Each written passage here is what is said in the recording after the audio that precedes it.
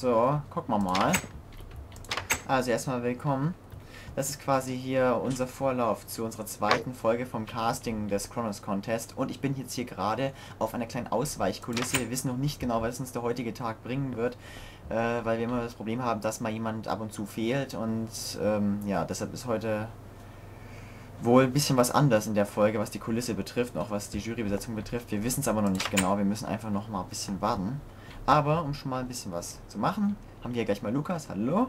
Die Royal Liberation Kronos Contest, auch als kleine Yacht bekannt. Also der kleine Yachtbauer wird schon wissen, was gemeint ist. Die RMS Unsinkbar 2 und die Equinox. Was ist los mit denen? Das hört man. Also bleib mal schön in der Maske, Lukas. Du musst ja schließlich glänzen wie so eine Speck. Gut, und äh, ja, diese fünf Schiffe auf jeden Fall. Wir werden das erste Schiff in der alten Kulisse zeigen, wie ihr es gewohnt seid von der letzten Folge, weil wir das schon vorgedreht hatten. Den Rest haben wir noch nicht gedreht. Voraussichtlich wird das hier gedreht werden, es sei denn, es geschieht ein Wunder in vier Minuten. Aber hm. das kann ich immer nicht wissen. Also von daher, wahrscheinlich werden wir uns hier wiedersehen. Ja, tja, bis gleich, Leute. Wir sehen uns dann wirklich in der aktuellen, also in der wirklich ah. relevanten Aufnahme.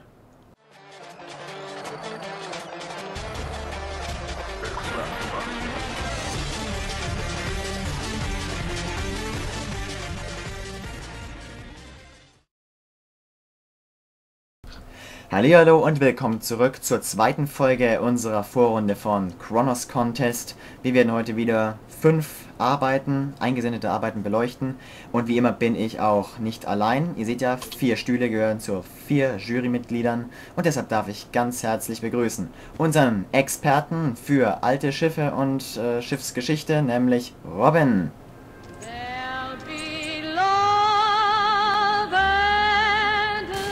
Ja, das war doch ein Headshot. Sehr schön. So kennen wir dich, Robin. Na, geht's dir gut? Alles klar, setz dich mal. Ja, dann natürlich unseren herzallerliebsten Nörgelbaron Pizza. Unser persönliches Dark Horse hier drin. Ja, danke. Danke, danke, imaginäres so, Publikum. Guten Tag. Guten Tag, YouTube. Guten Tag, Robin. Guten Tag, Guten Tag, Wenn einer noch darker geht in seiner Bewertung, ohne den Mann, der die moderne Schifffahrt verinnerlicht hat, was wäre diese Jury ohne Marvin? Guten Tag. Guten Tag, Marvin.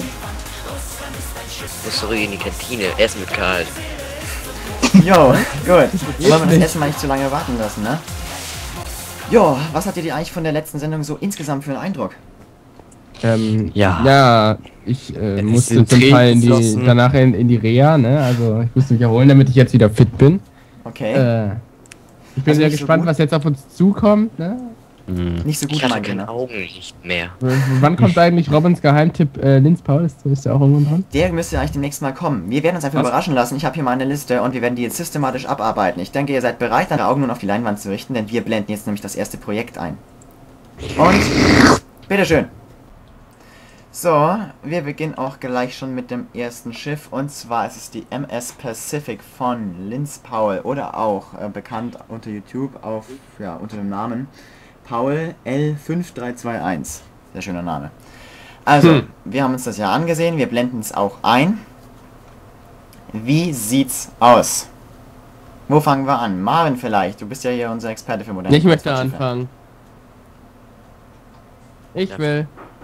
Gut, dann fängt eben, keine Ahnung, äh, macht das unter euch aus. Ne, ich habe eine andere Frage. warum, warum war der in der Szene gerade noch hier und ist jetzt sowas? Ja, das, das hat was mit Drehtagen und so zu tun. Ich meine, wir hatten Florian Silbereisen vorher eigentlich auch nicht mit hier drin, aber vielen Dank, Herr Silbereisen, dass Sie sich die Zeit genommen haben. Ja, gut. Äh, Robin ist aber trotzdem mit dem Geiste bei uns. Hallo Robin. Ich bin hier. Ja. Hi. Okay, ich möchte erstmal dazu sagen, ja, ähm, ich habe mich ehrlich gesagt auf das Schiff so ein bisschen gefreut, weil man weiß ja, dass Linz Paul Schiffe bauen kann. Ja, wir wissen alle, dass er jetzt Schiffe bauen kann. Ähm, nur dann geht man da hin und dann wird man erschlagen. Und zwar von viel zu viel. Also es ist einfach viel zu viel auf diesem Schiff. Viel zu viele Farben so und viel zu viele Details. Weniger ist manchmal einfach mehr. Ähm, und der Maschinenraum weil ich bin ja immer so ein Fan von Linz Pauls Maschinenräumen. Ich muss sagen, auf dem anderen Schiff hat er mir besser gefallen. Aber nichtsdestotrotz ist das wieder ein sehr schönes Schiff, bis auf das Hakenkreuz auf dem Pooldeck. Aber ähm, doch, also Ja. einfach weniger Details beim nächsten Mal irgendwie. Und ähm, irgendwas war da noch, ich habe es jetzt aber vergessen. Welche Note würdest du eigentlich geben insgesamt? Was ist dein Urteil? Insgesamt eine 2 plus. Okay, alles klar. So, Robin, wie sieht's aus? Wie hast du das empfunden? Also, Paul ist ja auch einer meiner Favoriten in diesem Wettbewerb, ja. Warum ja. hast du dann die Lampe angemacht? Was? ja, egal, reden mit mir. Auf jeden Fall, halt, genau wie die Pizza, man wird halt erschlagen. Es ist viel zu vollgestellt. Das ganze Schiff ist zu vollgestellt und somit wurde er überstimmt, weil es ist einfach zu viel, das erdrückt wie ich ein. Darum gebe ich auch eine 2 plus, aber das Schiff ist wie ich. Ach ja, genau, der Bug sieht diesmal nicht aus wie eine Zwiebel, sondern wie eine Birne. Gut, okay. Und, und für die Leute, die sich fragen, warum Robin so halt, der halt so, weil er auf dem Klo ist. Hm, Ja, super. Oma zwischenredet. Du bist sehr leise. Lukas, gab es auf diesem Schiff eine gute Grammatik? Mensch, Lukas verteilt eine 1, das gibt's echt nicht häufig. So, und Marvin? Äh, ja, eigentlich kann ich nur wiederholen, was meine Kollegen hier auch gesagt haben, dass ein bisschen etwas zu vorgestellt war. Ja? Ja. Und ähm, dieses Hakenkreuz hätte nicht sein müssen. Wer weiß, wer das da hingesetzt hat. Also ich denke, Warum sitzt der nicht auf seinem Platz? eine 2 plus. auch eine 2 plus. Alles klar, das ist also bisher ja die beste Bewertung, die wir in dem Wettbewerb hier erreicht haben. So, und da sind wir wieder zum zweiten Schiff. Diesmal von der anderen Kulisse, wie ich es ja im kleinen Vorspann schon angedeutet habe. Und ja, unsere Jury hat sich hier auch halbwegs vollzählig eingefunden. Das Schiff, das wir quasi ähm, besprechen werden, das blenden wir jetzt ein. Und zwar ist das die Royal Liberation. Hm. Robin. Ja, also ich kenne mich ja nicht mit so alten Schiffen aus, ne? Ja doch klar, ja. Hm? Aber nicht so ganz, also ich kenne mich mit alten Schiffen aus, aber doch nicht mit alten Schiffen. Und da muss ich sagen, ja keine Ahnung, der Tiefgang, der ist irgendwie zu mächtig gewesen. Dachte mir, meine Herren, was haben die da gelagert? Und dann war auch noch TNT, ich wollte es eigentlich, nee, nee, egal. Auf jeden Fall, ich gebe dem Schiff mal, ja, ich gebe dem mal ja, eine 3, weil es von außen doch sehr eigentlich gut und aufwendig aussieht. Die Kanonen haben sogar Räder, ja, eine 3. Okay, gut. Pizza. Pizza ist live zugeschaltet aus einer Schlacht in Napoleon Total War. Also, wie sieht's aus? Ja, es sieht gerade schlecht aus. Ich habe noch 25 Minuten, um die Schlacht zu gewinnen. Wobei ich gerade wieder so ein bisschen das Blatt gewendet habe und am Gewinnen bin. Aber es geht ja hier eigentlich um das Schiff. Und dazu kann ich sagen, ja, ist ganz nett. Ähm, mir gefällt die Story da drin in diesem einen Buch, weil das äh, zu der Zeit hier spielt. Passt zum Thema. Wer hat hier keine Munition mehr? Dann lauft! Also gut, Ähm, Pizza, wie hast du das Schiff, die Royal Liberation, Ich gebe empfunden? dem, dem Schiff eine 3.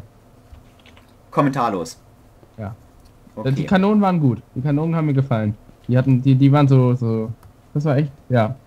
Ähm, ja. ja. Lukas, Vielleicht. eine solide 4. Man muss dazu sagen, meistens werden hier auch 3 und 4 vergeben. Es kommt gar nicht so oft vor, dass 2 oder 1 oder sowas vergeben werden. Also Das eine ist 3, gut. da fährt man hier eigentlich schon gut, wenn man eine hat.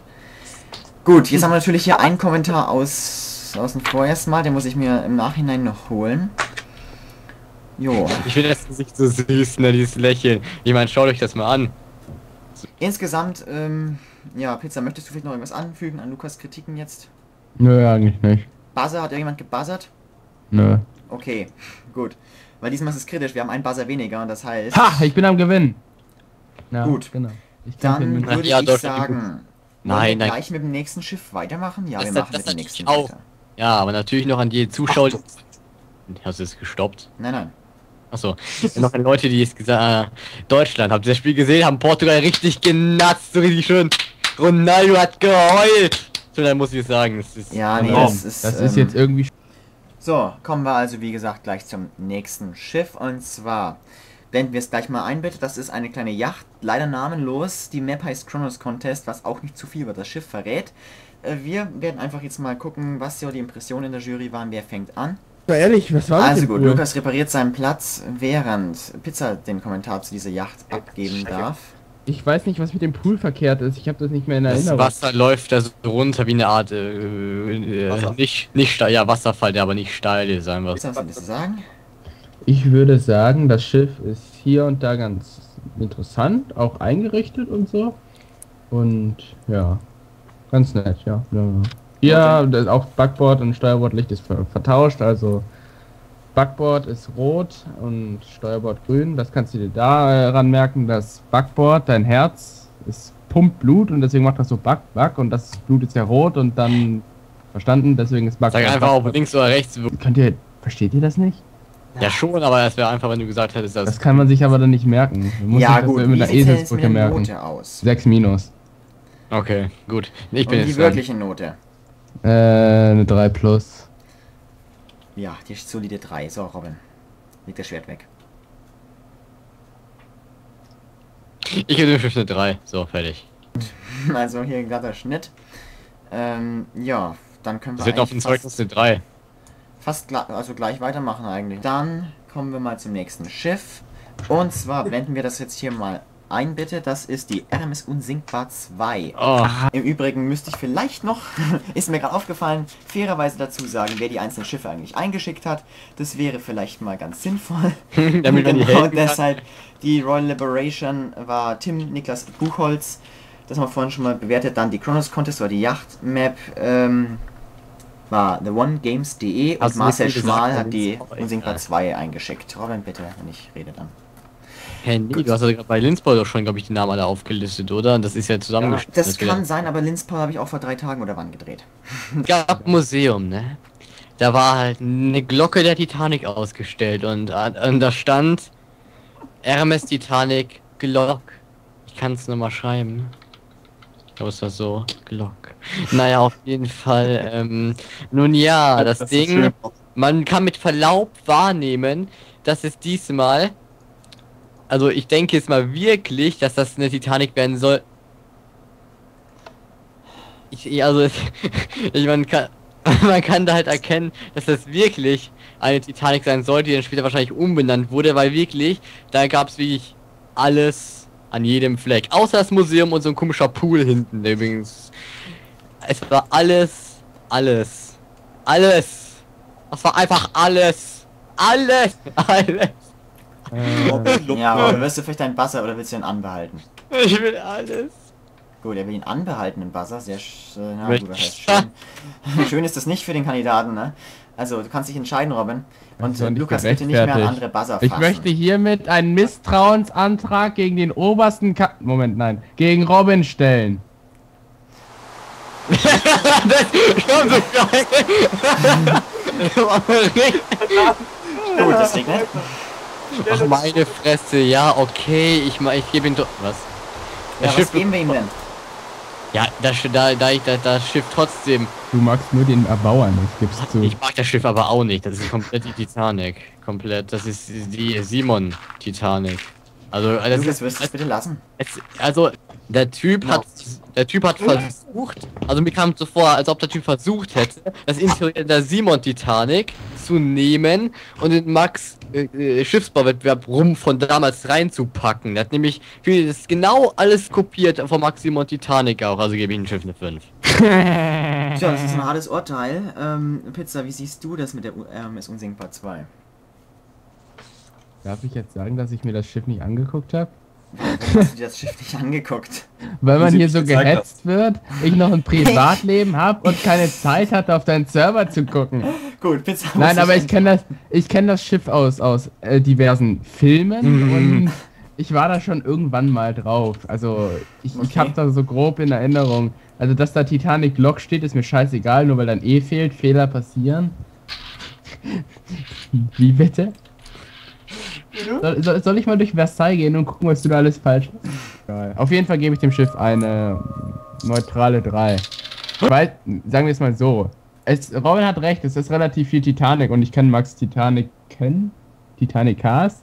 Keine Ahnung, so eine Scheiße kann man nicht steigern. Oder Plural gibt's davon nicht. Ihr wisst, was ich meine und deswegen, ja, ich bin, ich bin einfach nett. Vielleicht werde ich noch irgendwann so böse, dass ihr mich alle hasst und mich als Teufel bezeichnet, so wie Robin das jeden Tag tut. Mach mal mit dem Buzzer aus. Ist, ist mein Buzzer an? Wer war das? Wir- Sobald die Kamera aus. Nein, nein, alles gut. Hm, Lukas, kommen wir zu dir. Ich, ich tut mir leid, ich, ich konnte den Buzzer nicht drücken. Ich bin nur zu nett. Ich bin mich. Ich, Ich kann doch auch nichts dafür, dass ich nichts gegen die Titanic habe, nur weil hier einige die schon ein paar Mal gebaut haben und deswegen. Einige. Aber- Was denn? Ja, ein sehr hartes Urteil von dir, aber ehrlich, Immer. und der Bass ist gedrückt, ich nehme auch nicht an, dass jemand seinen Joker mobilisieren will. Ich muss meine Armeen mobilisieren. Gut, dann würde ich sagen, kümmern wir uns lieber gleich. Ach ja, was Marvin, glaube ich, gesagt hätte. Die Schornsteine haben keinen Schacht nach unten. Also ich werde mal Marvin nochmal fragen, was er da Warte, jetzt warte, als warte, warte, warte, warte, warte. Es doch nicht. Aber Marvin wird dem, äh, diesbezüglich noch ähm, sozusagen nachgereicht, wenn man das so sagt. Und zwar, wie sieht's denn jetzt aus mit dem Chronostar Schiff? Das ist das letzte Schiff, dazu werden wir gleich mal kommen, wenn wir das hier einblenden. Und zwar, ja, die heißt eigentlich Equinox, wie man am Heck Warte, sehen warte, kann. warte, warte. Das Schiff habe ich noch gar nicht gesehen. Ja, deshalb kannst du dir auch hier leider kein Urteil erlauben. Sag mal, was ist das hier für eine Organisation? Ich möchte sofort einfach. Marvin war- hat alle Schiffe gesehen mittlerweile, aber du warst irgendwie dann trotzdem Tut irgendwo. mir leid, dass ich Privatleben habe. Ich, Ja. werde, ich werde mein Privatleben ab sofort einstellen. Hast du nicht Total War Das ist aber nicht gemeint. Ja, äh, steht halt wieder Hermes, ja, das Namen jetzt hinterm Heck, egal. Auf jeden Fall, ähm, ich, also, das Schiff gefällt mir. Also, das, also, es gefällt mir, abgesehen davon, dass ihm die Seite weggesprengt wurde. Warte, was? Ja, eine Das- Seite am Heck wurde weggesch also weggesprengt, sieht so- sieht so aus. Dann, ähm, dass viele Räume halt leer waren, dass das ganze Schiff fast komplett leer war. Das meiner Meinung nach gab es, ähm, es gibt viel zu viele öffentliche Räume und ich habe bisher nur ungefähr, keine Ahnung, 10 Kabinen oder 15 Kabinen gesehen und so. Und ich denke nicht, dass 15 Kabinen, dass da so viele Leute sind, dass das ganze Schiff gefüllt ist. Also ein bisschen Kabinenmangel ist da. Naja, auf jeden Fall, wie soll das Schiff drehen, weil das Ruder ist an Seilen befestigt und also das, das reißt ja auseinander. Warte, das Schiff Aber hat sonst- 15 Kabinen?